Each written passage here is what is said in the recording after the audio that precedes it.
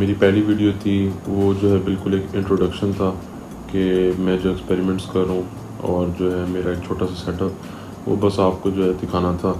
तो उसके नीचे जो है मुझे कमेंट्स भी आए हैं। उसमें लोगों ने कहा है कि प्लीज़ एक जो है गाइड का सेटअप बना दें। जो बेसिक सा सेटअप होता है, उसकी एक वीडियो बनाएँ और ना बिल्कुल आसान से तरीके से जो है इसको फ़ीड करना और इसको ग्रो करना सिखाएँ हमें।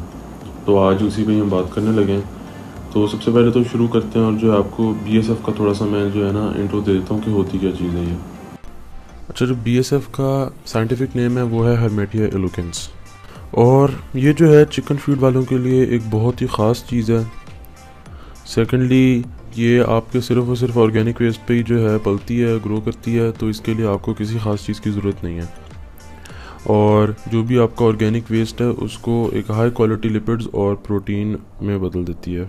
फैट्स इसमें जो है तकरीबन 40 से 44 परसेंट प्रोटीन का कंटेंट होता है और 7 से 36 परसेंट जो है लिपिड्स होते हैं। आपको इसमें से चिटिन भी मिल सकता है, जो इसके एक्सोस्केलेटन में से आप चिटिन भी निकाल सकते हैं। और उसके साथ साथ जो है आप एक इससे बहुत ही हाई क्वालिटी कंपोस्ट वो भी बना सकते हैं। जब बीएसएफएल का जो है लाइफ साइकिल शुरू होता है एग से जो एक एडल्ट होता है वो ऑलमोस्ट 500 टू 800 एग्स देता है। तो ये अपने वेट से डबल खाते हैं। सपोज़ कर लें कि अगर आपके पास वन के जी हैं तो ये डेली का टू के जी वेस्ट खा जाएँगे। सबसे पहले ऐसे करना है कि आपने एक कंटेनर लेना है कोई भी टाइप का हो इस टाइप का भी चलेगा इस टाइप का भी चलेगा। और साथ ही साथ आप इस तरह का कोई टब भी इस्तेमाल कर सकते हैं। ये टब और साथ में इसके बड़ा टब एक आप रखते हैं। उसमें ऐसे ये छोटा टब और जैसे आपकी मर्ज़ी थोड़ा सा गहरा हो ताकि उसमें जो है आप अच्छे से लार्वीज को जो है ग्रो कर सकें। तो उसमें हमने सबसे पहले क्या करना है फ़ूड जो है उसको आपने ग्राइंड करना है और अच्छे से जो चूर चूर और बहुत ही जो है ना छोटे पार्टिकल्स फ़ूड के, वो आपने उसमें डालने हैं। क्योंकि जो न्यूली हैच्ड आपके लार्वीज मिलेंगे, उनको छोटे छोटे जो हैं फ़ूड पार्टिकल्स वो खा सकते हैं।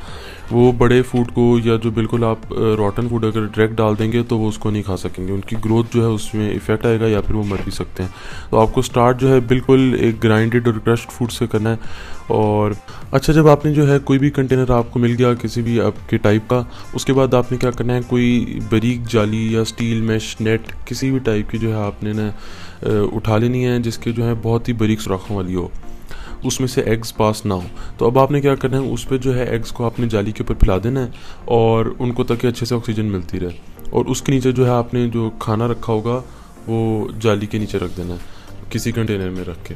अच्छा स्टार्ट में आपके शायद दो दिन में ही जो है मैश के ऊपर से गायब हो जाएँगे। लेकिन आपको जो है कोई डिफरेंस नज़र नहीं आएगा। आपको शायद वो जो बी एस लार्वीज हैं, वो भी आपको नज़र नहीं आएँगे। क्योंकि स्टार्ट में इनका साइज़ बहुत छोटा होता है और जो आपकी आँख देख सकती है, वो तकरीबन तीन से चार दिन बाद जाके आपको नज़र आना शुरू होंगे। तो जब आपको थ्री फोर डेज़ बाद नज़र आने लग जाएँ तो उनको आप फिर अपने जो है सही वेस्ट ट्रीटमेंट यूनिट किसी में भी आप उसको शिफ्ट कर सकते हैं। तकरीबन ऑलमोस्ट फाइव डेज़ बाद। और फाइव डेज़ जो ओल्ड आरवी होते हैं, उनको हम फाइव डॉल कहते हैं। तो तब आप उनको एक जो है रॉटन फ़ूड दे सकते हैं, लेकिन नरम दें। मैं रिकमेंड यही करूँगा कि नेक्स्ट फाइव सिक्स डेज़ भी जो है आप उनको थोड़ा नरम खाना दें। अगर हो सके तो ग्राइंड करके दे दें। तो वो ज़रा उनके लिए बेहतर होता है और वो जल्दी खाएँगे और ज़्यादा जल्दी ग्रो कर जाएँगे। तो इस तरह थर्टीन टू एटीन डेज़ जो है आप उनको फ़ीड करते रहें, उनकी लार्वी लार्वल स्टेज जो है वो कंप्लीट हो जाए। उसके बाद जो है प्री प्यूपल स्टेज में चले जाते हैं। अब उसका आपको इस तरह भी पता चल जाएगा कि इनके ऊपर जो है ब्राउनिश और ग्रेश सा जो है शेड आ जाएगा। इसका मतलब है प्री पीपल स्टेज में चले गए हैं। सेकेंडली जो है, और सेवन डेज़ के लिए जो है इनकी प्री पीपल स्टेज रहती है, उसके बाद जो है ये प्यूपा बन जाते हैं और इनका कलर है वो फुली ब्लैक हो जाता है। जब प्री प्यूपा से ये प्यूपा स्टेज की तरफ़ जा रहे होते हैं तो उसका एक बड़ा, एक अच्छा आपको यहाँ से भी आइडिया लग जाएगा कि ये लोग जो हैं भागते हैं निकल के।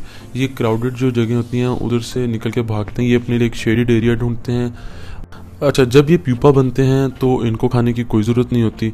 Next ten to thirty days जो है, इनको आप फ़ीड ना डालें। ये जो है, अपनी रिक्वायरमेंट सारी, ये खुद अपनी बॉडी से पूरी कर लेते हैं। जैसा कि मैंने अभी आपको बताया है कि जो प्यूपा से एडल्ट बनने का टाइम होता है, वो टेन टू थर्टी डेज़ होता है। लेकिन अगर आप चाहते हैं कि आपको आइडिया हो जाए कि कौन सा प्यूपा स्टेज जो है, उसमें भी काफ़ी उसको टाइम हो गया है और कौन सा अभी अभी एंटर हुआ है। तो जिसको थोड़ा टाइम हो गया है, वो बिल्कुल जो है स्टिल हो जाएगा और थोड़ा सा सख्त सा हो जाएगा। लेकिन जो अभी एंटर हुआ है, वो मूवमेंट उसके अंदर होगी अभी भी। तो ये जो है, इनका डिफरेंस आपको इससे पता चल जाएगा कि कौन सा अभी इस स्टेज में एंटर हुआ है और किसको थोड़ा टाइम हो गया है। स्टेज में एंटर हो जाए, जब ये सारे प्यूपास बन जाएँ तो मोस्टली जो है टेन टू फोर्टीन डेज़ के अंदर आपके जो है सारे के सारे नाइन्टी फाइव परसेंट जो पॉपुलेशन है वो फ्लाई बन जाएगी एडल्ट बन जाएँगे। लेकिन जो फाइव परसेंट हैं, वो काफ़ी स्लो हो सकते हैं। इनको क्योंकि इनका जो टाइम स्पैन होता है प्यूपास का, वो ten days to thirty days होता है। अच्छा फ्लाइज बनाने के लिए हमें क्या क्या करना पड़ेगा? तो जैसे मैंने थोड़ी देर पहले आपको बताया कि ये जो हैं निकल के भागते हैं जब ये पीपल स्टेज में एंटर होते हैं और ये कोई ना शेडेड एरिया ढूंढते हैं अपने लिए।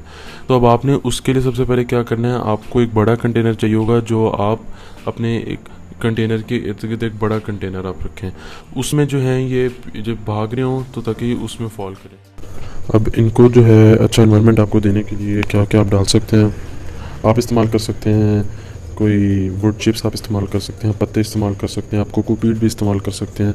इस तरह का कोई भी आप मटेरियल इस्तेमाल कर सकते हैं जिसमें ये अपने आप को छुपा लें, अपने आप को ये हाइड कर लें और हाइपरनेशन में चले जाएँ, वहाँ पर ये रिलैक्स कर सकें। जो है प्यूपास बन जाएँ तो उनको जो है लाइट पसंद नहीं होती, उनको जो है एक डार्क सा इन्वायरमेंट पसंद होता है। तो आपको क्या करना है? जो आपने कुछ पीपास जो हैं इकट्ठे किए हैं, जो भाग रहे थे, वो आपने एक बड़े कंटेनर में इकट्ठे कर लिए। अब उनको आपने एक बहुत ही अंधेरे वाली जगह पे रखना है।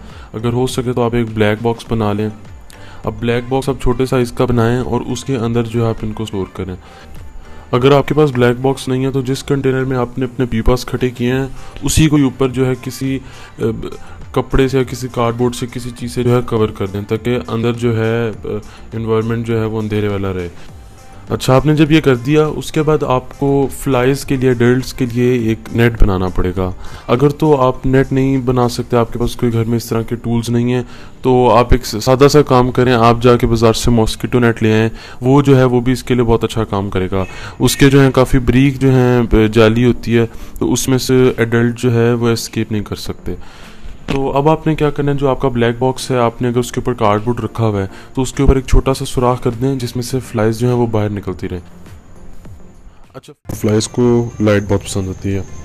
तो अगर आप इन्वायरमेंट पूरा ही डार्क रख देंगे और अपने नेट के लाइट्स नहीं लगाएँगे तो फ्लाइज बाहर नहीं आएँगी, जिसकी वजह से वो मेट नहीं करेंगी और आपका जो है प्रोजेक्ट फेल हो जाएगा। तो उनको लाइट या दिन की जो रोशनी है, वो बहुत अट्रैक्ट करती है। उसी में वो आएँगी उसी से अट्रैक्ट होकर वो मेट करेंगी तो फिर आपको एग्स मिलेंगे। तो फ्लाइज के लिए रोशनी बहुत ज़रूरी चीज़ है। और क्या क्या रखना है कि आपको एग्स भी मिलें और जो आपका फ्लाइज का जो टाइम स्पेन होता है six to seven five to seven days वो भी कम आपने उनको सबसे पहले क्या करना है? आपने उनको पानी प्रोवाइड करना है। लेकिन अगर आप ऐसे किसी कंटेनर में पानी रख देंगे तो वो नहीं पी सकेंगी और वो डूब जाएँगी। तो यहाँ पे आपको क्या करना है? आपने एक कंटेनर लेना है। अब आपने वहाँ उससे आगे ये करना है कि आपने कोई भी पेपर टॉवल नेपकिन या कोई कॉटन का कपड़ा, कुछ भी आपने ले लिया, आपने वो अपने कंटेनर के अंदर रख दिया और उसके ऊपर आपने पानी डालना है ताकि वो कॉटन का कपड़ा या आपने जो भी चीज़ इस्तेमाल की है, वो पानी सोख कर ले और बीएसएफ जो है वो उसके ऊपर आके बैठे और उसके ऊपर से पानी जो कॉटन के कपड़े में सोख हुआ है, वो वहाँ से उसको पिए। अगर आप डायरेक्ट डाल देंगे तो आपकी फ्लाई उसमें डूब जाएगी और मर जाएगी। तो अब आपने ये करना है कि कोई भी कार्डबोर्ड का पीस या आपके पास कोई लकड़ी कोई इस तरह की चीज़ है उसके आपने हिस्से कर लेने हैं। आपने हिस्से कर लेने हैं कि अपने टाइप का जो है आपने उनको स्टैक कर देना है जिनके दरमियान में जो है थोड़ी छोटी छोटी जगह हो। आपने बस ये देखना है कि जिसमें वो एग्स दे सकें। मैंने इस तरह की एगीज इस्तेमाल की हैं और अच्छा जो फ्लाई होती है वो फिर भी किसी भी जगह पे जो है ना एग दे सकती है। ज़रूरी नहीं है कि वो कार्डबोर्ड में देगी। तो उसके लिए आपको एक अट्रैक्टेंट बनाना वो बहुत ज़रूरी है, ताकि जो फ्लाई वो कार्डबोर्ड पे अट्रैक्ट हुए और वहीं पे जो है एग्स ले करे। तो अब अट्रैक्टेंट से मेरा ये मतलब है कि ना बीएसएफ जो फ्लाई होती है, वो अपने जो एग्स के लिए बहुत ख़ास जगह देखती है, जहाँ पे उनके जब लार्वीज अगर हैच हों तो उनको प्रॉपर फ़ूड मिल सके। तो अट्रैक्टेंट से मेरा ये मतलब है, आपने किसी कंटेनर में रॉटन चिकन या आपका घर का पुराना अगर वेस्ट बचा हुआ है उसकी जो है बहुत तेज़ स्मेल हो। तो आपने वो रखना है और उसके ऊपर एग्ज़ रखने हैं, ताकि जो बी एस एफ़ फ्लाई है, वो आपके उससे अट्रैक्ट हो। और आपके एग्ज़ अगर उसके ऊपर पड़े होंगे तो उसको वह काफ़ी सूटेबल इन्वायरमेंट लगेगा तो फिर वो जो है आपके कार्डबोर्ड में ही एग्ज़ देगी। अब जब फ्लाइज आपके बॉक्स में काफ़ी ज़्यादा बन जाएँ, दस, तकरीबन बारह, तेरह दिन बाद आपको लगे कि अच्छी पॉपुलेशन हो गई है तो आपने कुछ दिन तक ना एगीज़ को चेक करते रहना है। आपको अगर उसमें एग्स की कुछ क्वांटिटी नज़र आए तो आप वो बहुत एहतियात से उसकी क्वांटिटी को उठा लें। और जिस तरह मैंने शुरू में बताया, उसी तरह ही आप स्टोर करके तो उनको हैच करते रहें। क्योंकि आप उसमें पड़ा रहने देंगे तो वो ड्राई भी हो सकते हैं, उसमें जो है कोई भी इशू हो सकता है तो आप हर दो, तीन दिन बाद जो है चेक करते रहा करें। इसी तरह जो है आपका एक जो लाइफ साइकिल है, बिल्कुल बेसिक सादा सा लाइफ साइकिल बी का वो कंप्लीट हो जाएगा। और जो आपको एग्स मिलेंगे, उसी से जो है आप अपना नेक्स्ट साइकिल इसी तरह शुरू कर और मैं इसको लर्निंग के तौर पे कर रहा हूँ। लास्ट वीडियो मैंने आपको बताया था। तो अगर तो आपके कोई सवाल हैं तो आप नीचे कमेंट्स में मुझसे पूछ सकते हैं। मैंने अपना व्हाट्सएप नंबर भी दिया हुआ है। आप वहाँ पे मुझसे बात कर सकते हैं। और अगर मैंने कोई इस वीडियो में गलती की है तो आप लोग वो भी मुझे नीचे करेक्ट कर सकते हैं। वीडियो देखने का बहुत बहुत शुक्रिया। अल्लाह हाफिज़।